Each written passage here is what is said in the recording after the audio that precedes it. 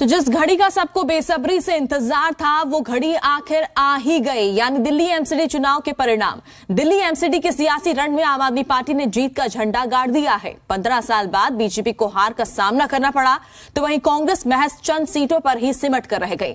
Delhi MCD election में इस बार कूड़ा पर हुई राजनीति में आपका ऐसा झाड़ू चला कि सबका सफाया हो गया।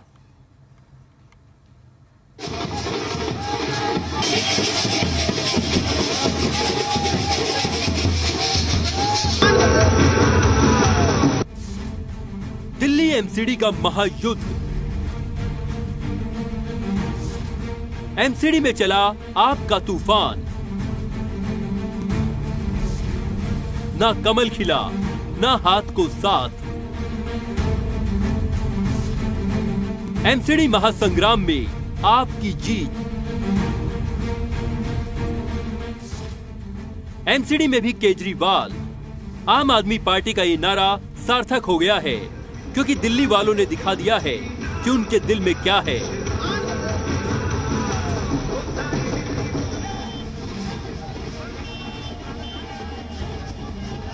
दिल्ली में 2015 और 2020 विधानसभा चुनाव में झाड़ू का जादू दिखा चुके केजरीवाल ने इस बार एमसीडी के महायुद्ध में भी झाड़ू का करिश्मा दिखाते हुए बीजेपी को बाहर का रास्ता दिखा दिया है।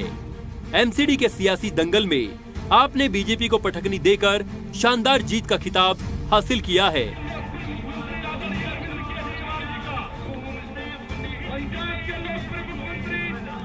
एमसीडी चुनाव में कूड़े की राजनीति पर ऐसी झाड़ू चली कि आपके सामने कोई भी दल टिक नहीं पाया। एमसीडी चुनाव में कमल ठीक से खिल भी नहीं पाया। दिल्ली की जनता ने ना कमल थामा और ना हाथ का साथ दिया।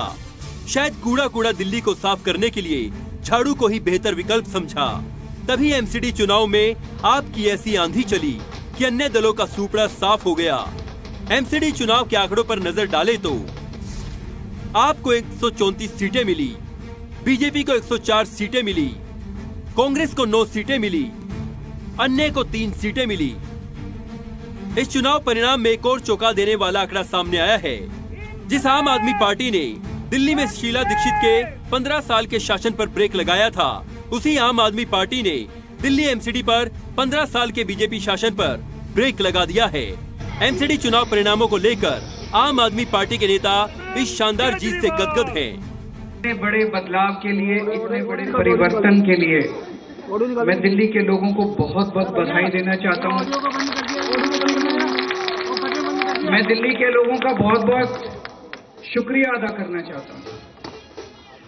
कि उन्होंने अपने बेटे को, अपने भाई को इस लायक समझा। आम आदमी पार्टी के लिए ये बहुत बड़ी बात है कि जो भारतीय जनता पार्टी अपने आप को दुनिया की सबसे बड़ी पार्टी कहती है। पंद्रह साल से भारतीय जनता पार्टी एमसीडी की सत्ता में थी। उसको बाहर करके दिल्ली के लोगों ने केजरीवाल जी को मौका दिया है। पंद्रह साल बाद एमसीडी में जनता जीत गई।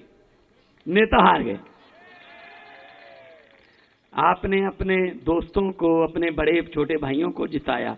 अरविंद केजरीवाल जी ने कहा था कि मुझे एमसीडी भी दे दो, मैं ये भी ठीक कर दूँगा। आम आदमी पार्टी ने दिल्ली भी जीती है और दिल भी जीते हैं।